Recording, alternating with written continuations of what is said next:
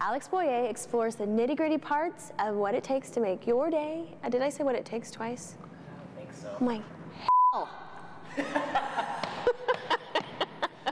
Wow, this is what happens when I do two, two my brain starts to fall apart and I start cussing and swearing.